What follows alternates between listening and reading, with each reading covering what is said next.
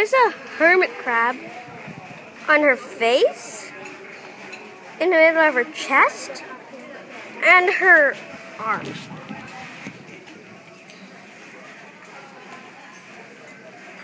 Pretty weird.